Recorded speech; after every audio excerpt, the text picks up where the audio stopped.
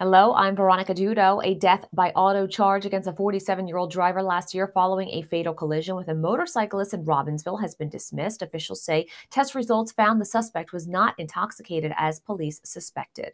Officials have announced that the Bayonne St. Patrick's Day Parade is set for Sunday, March 17th at 1 p.m. The parade route begins at Broadway and 5th Street and will proceed to the Bayonne County Park.